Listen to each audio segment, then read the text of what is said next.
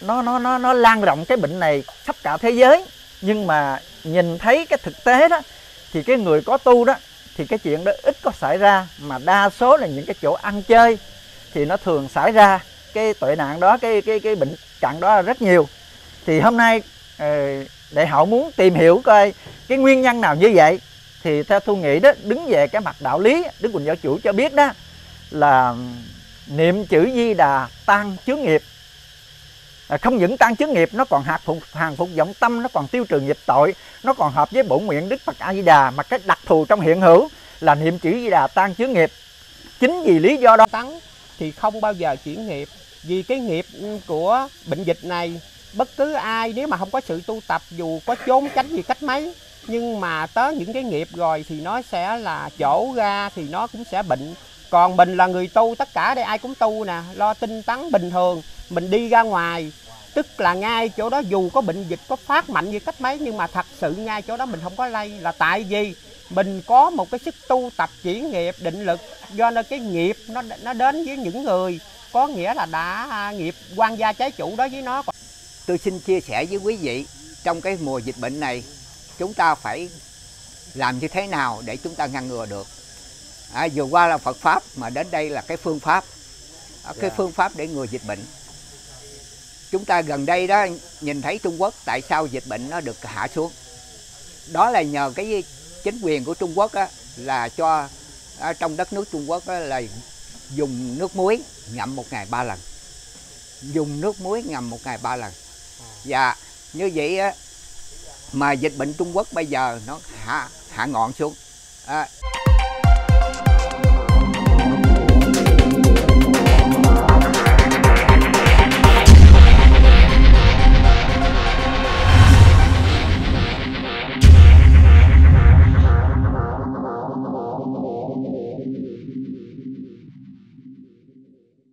À, thông báo với bà con mình cố gắng nha cố gắng tu. Tại à, nếu mà không tu thì con dịch nó đến nó mới giếng. Dạ nếu tu rồi nó tránh xa. Dạ thì à, hôm nay tiếp theo thì à, gồm có à, mấy à, mấy chú. Dạ mấy mấy chú mới được. Rồi thì à, tiếp theo là có à, chú tư. Dạ, nhờ chú cũng à, phân tích về vấn đề à, nó bệnh dịch này. À, một là cái à, cái bệnh dịch này nó à, nếu mà trả quả tại sao mà trả nhiều dữ à, à sao mà gieo gì nhiều quá? Thôi chú thấy phải là à, mình nó đúng là trả quả không chú? Cộng nghiệp sao mà bây giờ quá khứ rồi? Dạ mình có phương thức nào để làm sao cho nó kịp được cái cái thời kỳ này á chú tư? Dạ, dạ, dạ. Đứng là chú tư đứng nói chuyện nam mô bổn sư thích ca mâu ni phật nam mô a di đà phật kính thưa hiền đệ tư ờ, chủ tỉnh thất. Kính thưa quý thầy. Kính thưa đoàn của đệ tuấn ờ, đệ hậu. Thật là một cái nhân viên quý báu. Hôm nay chúng ta hạnh ngộ cùng nhau nơi cái ờ, tỉnh thất của đồng đạo tư chương đây. Thì hôm nay là cái ngày 28 tháng 3 của năm Tân Sửu. Thì cái ngày này là đoàn đệ tuấn và đệ hậu hợp đồng đến đây để chia sẻ một số tịnh tài cho tất cả ờ, chúng ta. Thì ờ, chúng tôi thấy việc làm này nó mang cái tính chất của Phật giáo. Vì Phật giáo nó cho đủ gọi là Phật giáo dị nhân sinh tức là đạo Phật ra đời vì chúng sinh mà đạo Phật ra đời. Thì hôm nay quý vị thực hiện cái tinh thần Phật giáo à, được Đức Thầy xác định cái hành động đó à, cái hành đạo đúng theo ý nghĩa xác thực của nó làm thế nào phát hiện được những đức tánh cao cả thực hành trên thực tế bằng mọi biện pháp để đem lại cái phước lợi cho toàn thể chúng sinh thì đó là sự thỏa mãn trong cuộc đời hành đạo của mình à, trong kinh Trung Bộ Đức Phật từng nói rằng chúng sanh là chủ nhân của nghiệp, chúng sinh là thừa tự của nghiệp. Chúng sanh là chủ nhân của nghiệp, nghiệp chúng sinh tạo ra mà khi tạo ra hưởng lấy, chính cái lấy gọi là thừa tự của nghiệp. Đức Thầy xác định ý này, trồng bông kiển giống chi hưởng nấy, địa ngục cũng tại tâm lòng quấy, về thiên đàng cũng tâm ấy tạo ra, cái chữ tâm mà quỷ hay ma, tiên hay Phật cũng là tại nó. Thì việc làm có ý nghĩa hôm nay, tôi cho đó là một cái nhân viên quý báu đối với người tổ chức làm cũng như cái người đến đây nhận quà, chúng ta cùng nhau một cái tâm niệm lành để cùng nhau nâng đỡ nhau từ phần vật chất cho đến tinh thần. Đứng về mặt chất, vật chất thì con người phải có cơm ăn, áo mặc, nhà ở tiền tiền xài trong cuộc xử thế tiếp vật. Đứng về mặt tâm linh thì con người cần nhờ đến sự giúp đỡ của Phật pháp tăng để khai mở trí óc cho được sáng suốt. Vì Phật là đến toàn thiện, toàn mỹ, từ bi bác ái vô cùng quyết của giác sanh linh ra khỏi dòng trầm lưng khổ ải. Thế nên ngài mới truyền lại cái giáo pháp. Vậy thì pháp có công năng chuyển mê khai ngộ cho tất cả chúng ta ly khổ đắc lạc. Thì tất cả chúng ta đều hướng về con đường Phật pháp. Đây là một cái nhân duyên rất quý báu mà chúng ta đang trên con đường hướng thượng. Nên chúng ta gặp gỡ nhau, chúng ta có một cái tình thương yêu lẫn nhau như con một cha.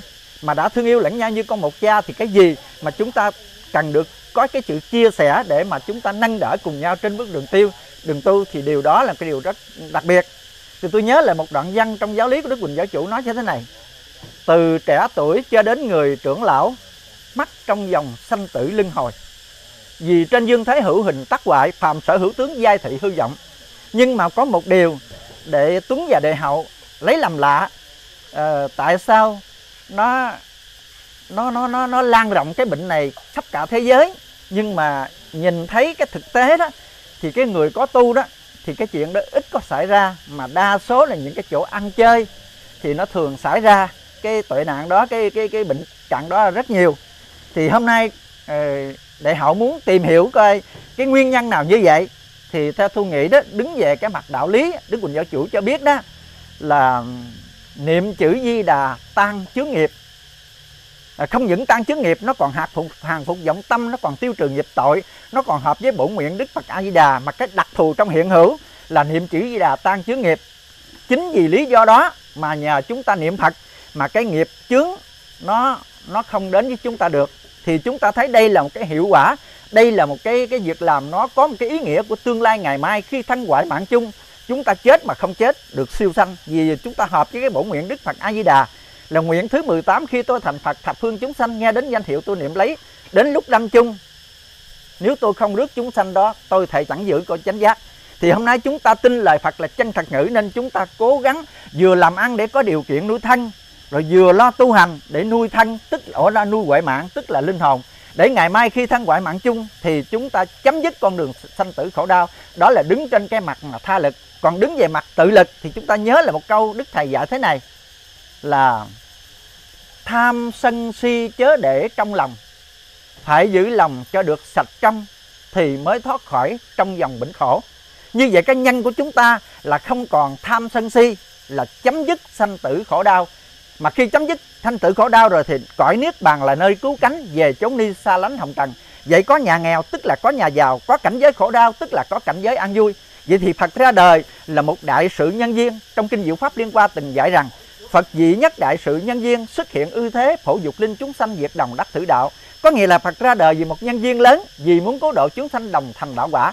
Đó là nhìn theo lịch sử của Phật giáo 2565 năm. Nếu nhìn theo Phật giáo hảo hiện tại thì 82 năm đã trưởng thành, thì chúng ta ý thức được lời của Đức Thầy trong quyển nhất là xưa nay không có mấy khi dương trần có Phật vậy thì xuống đây vậy Phật xuống đây là làm gì?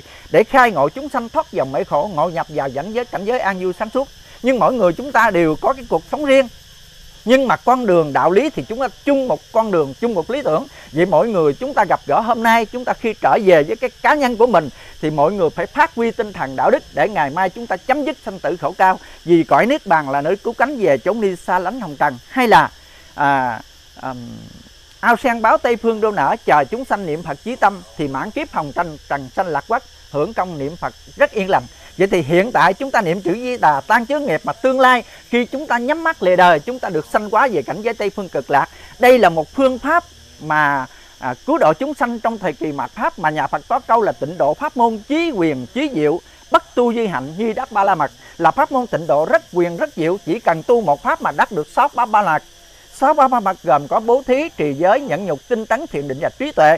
Thì cái pháp này dung thông tất cả các pháp nên mọi người chúng ta cố ghê gắng trên con đường tu hành để chúng ta thành công thành công trong chỗ cố gắng. Vậy chúc lành cho tất cả quý thầy quý đồng đạo chúng ta và quý vị tổ chức đoàn à, trên bước đường tu thân tâm thường an lạc để đạo quả chúng ta đến sớm viên thành. Đến đây xin hết lời. Nam mô bổn sư thích ca mâu ni phật. Nam mô di đà phật. Nam Mô Đức Phật. Thì vừa qua à, chú Tư cũng có à, nêu lên à, về à, vấn đề à, chúng ta nhờ có sự tu tập, sự rèn luyện, sàn niệm Phật là nó mới à, thoát đi cái dịch bệnh trong hiện tại và về cảnh tương lai. Rồi tiếp theo thì à, xin trân trọng kính mời à, chú hai, chú hai Quấn. Thì à, đã à, rất lâu thành hậu mới được gặp chú cũng gần 20 năm. 20 năm nay mới gặp được chú và trên chương trình tu tập. À, nam mô bổn sư thích ca mâu ni phật. Nam mô a di đà phật. Lễ phép. Kính chào quý sư và chư quý vị đồng đạo kính mến. À, nhân dịp hôm nay cái đoàn à, thành hậu và tướng dũng đến đây để, để chia sẻ cái uh, những cái món quà để cho đồng đạo à, tu tập ở trên núi núi dài. Đây là núi dài văn liên à, để được an tâm trong vấn đề tu tập. À, nhân dịp này à, quý sư cũng như huynh tư rô cũng đã chia sẻ về à, vấn đề à, là Phật pháp và dịch bệnh. Thì tới đây á tôi xin chia sẻ với quý vị trong cái mùa dịch bệnh này chúng ta phải làm như thế nào để chúng ta ngăn ngừa được? À, vừa qua là Phật pháp mà đến đây là cái phương pháp. À, cái yeah. phương pháp để ngừa dịch bệnh chúng ta gần đây đó nhìn thấy Trung Quốc tại sao dịch bệnh nó được hạ xuống? Đó là nhờ cái chính quyền của Trung Quốc á, là cho ở trong đất nước Trung Quốc á, là dùng nước muối ngậm một ngày ba lần. Dùng nước muối ngậm một ngày ba lần. Và như vậy á, mà dịch bệnh Trung Quốc bây giờ nó hạ hạ ngọn xuống. À, thành ra chứ không phải là một vấn đề vaccine hay là có một món thuốc điều trị gì khác tại sao mà nước muối nó được có sự hữu hiệu như thế? Tại vì cái con covid này nó vô là vô ngay cái mũi vô ngay cái họng của chúng ta và nó đóng vô đó là và nó ăn vô phổi. Yeah. nhưng mà khi mà ta ngậm vô đó ngậm nước muối vô đó như vậy và và sau đó nếu mà con cái con covid mà nó có xuống vô họng đó nó có vô bao tử được á, thì nó bị axit và nó vô nó nó đi ra ngoài nó bị chết và tiêu ra ngoài. Kính thưa quý vị về vấn đề dịch bệnh hôm nay thì nó rất là cần thiết, mà trong tỉnh An Giang của chúng ta bây giờ là quỹ ban nhân tỉnh đã có sự chứ là coi như những cái công dân về tất cả những cái địa phương ở huyện. Ờ, những ngày nay là chúng ta không không có được tụ tập đông đảo như thế này, nhưng mà đây là một cái cơ hội mà cũng là ngắn ngủi, thành ra chúng ta cũng cũng có thể là ờ, ờ, thực hiện được quý vị biết không bây giờ ở trên thế giới á, bây giờ hiện giờ á, là ở bên Ấn Độ á, là mỗi một ngày nó, nó số gần 500.000 người nhiễm bệnh trong một ngày. Gần 500 ngàn 400 mấy 400 mấy chục ngàn người đó trong một ngày. À, còn ở xung quanh của chúng ta cũng như Thái Lan Campuchia Lào là khoảng 5, 500 500 người trong một ngày. Và Việt Nam với chúng ta hiện giờ là nó có từ 8 65 đến 80 người là về vấn đề nhiễm bệnh trong cộng đồng. À, thành ra bây giờ cái phương pháp mà ngậm nước muối này nó rất là tuyệt vời. Chúng ta chỉ cần nấu nước nước muối sôi sôi lên nấu nước cho nó sôi lên và để hạ ngọn khoảng 60 độ chúng ta mới cho cái cái cái muối hột đi vào. À, độ mặn mặn đừng mặn quá mà đừng lạc quá. Vì mặn quá chúng ta ngậm nó sẽ bị dọp miệng mà lạc quá thì chúng ta không có hiệu quả. Sau khi mà chúng ta ngậm như vậy đó là một ngày ba lần sau khi ngậm ngậm chừng 15 20 phút xong đó là chúng ta nhổ ra ngoài. Khi nào khát nước 5 10 phút sau chúng ta uống nước cũng được. Còn để lâu hơn nó càng tốt. À, tại vì có nước muối à, ở trong họng như vậy là con cái vi khuẩn nó sẽ à, không có xâm nhập vào cái, cái họng của chúng ta được. Mà nếu có xâm nhập vào mà nó đi vào đường ruột thì nó cũng đi ra ngoài cái bài thuốc này có giá trị 100% đối với cái thời kỳ này. Tôi mong rằng quý vị cũng nên chia sẻ với tất cả bà con của bác. Đây là một cái bài thuốc rất là tuyệt vời à, trong cái cái cái thời buổi để mà ngừa cái covid này. À, tôi à, hôm nay nhân với cơ hội này à, tôi cũng chia chia sẻ cái bài thuốc muối cho quý vị. Nếu à, à, có cái sự may mắn à, trong cái cuộc đời này thì đây là một bài thuốc để đem đến cái sự an lành cho tất cả các chư quý vị đến đây tôi hết. Nam mô a di đà phật. Dạ. Yeah. à, thưa quý nam mô a di đà phật. Kính gửi đến toàn thể chư quý phật tử và chư quý đồng đạo kính mến. Hôm nay à, cái những cái nhân viên hội ngộ à, tôi xin chia sẻ về những cái phần à, dịch bệnh à, tại sao dịch bệnh mà tại sao những người tu không dịch bệnh. Ở đây thì tất cả chúng ta ai hướng về Phật pháp tu có sự giác ngộ thì ngay cái chỗ đó dù ít dù nhiều, thì đó cũng là có một cái điều kiện để mà có những cái phước báo để mà chúng ta chuyển nghiệp. Thật ra mà nếu mà chúng ta mà không tu thì nó có hai phần. Một là ngay chỗ đó mình tu phải đúng với chánh pháp. Cái thứ hai nữa là tu thì ngay chỗ đó mình phải xả ly tâm, nghĩa là ly dục, ly ác pháp thì tất cả những cái nghiệp bệnh này nó đến với chúng ta thì nó không có thể nào đến được. Tại vì cái bệnh nghiệp bệnh dịch này là do tất cả do nghiệp quả của chúng sanh mà gây ra chứ. À, đệ tử của Phật chúng ta biết được giác ngộ biết được nhân quả thì chúng ta sẽ là à, tu tập miên mặt. Có nghĩa là hiện thời bây giờ chúng ta cố gắng tu quý vị hành tịnh độ thì quý vị cứ việc niệm Phật niệm có nghĩa là niệm xuyên suốt. Khi mà thất niệm, chúng ta nhớ niệm. Chỉ có tu tập thì ngay chỗ đó mới có chuyển nghiệp được. Còn nếu mà chúng ta không có mà có sự tu tập tinh tấn thì không bao giờ chuyển nghiệp.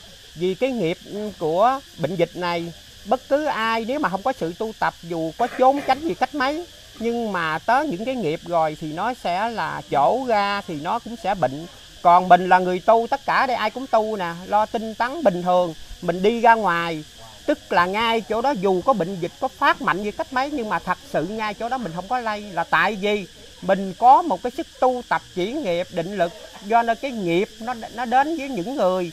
Có nghĩa là đã à, nghiệp quan gia trái chủ đó với nó. Còn chúng ta tu là xả ly. Tức là ngay chỗ đó bây giờ bệnh dịch y y trước mắt vậy. Nhưng mà thật ra thì ngay chỗ đó nó nó đến và đến với những người không tu. Nhưng mà nói với quý vị nha nếu quý vị tu thì phải tu cho đến là đúng với chánh pháp tinh tấn, thì bảo đảm là nghiệp lực nó cũng không có thể ờ, là xâm nhập đến quý vị. Còn quý vị mà tu yếu dự 40 phần trăm trở xuống thì ngay chỗ đó bệnh dịch có thể là ngay chỗ đó không có chuyển nghiệp được. Mà tu từ 60 phần trăm ăn lên thì ngay chỗ đó bảo đảm là bệnh dịch không bao giờ mà thâm nhập chúng ta được.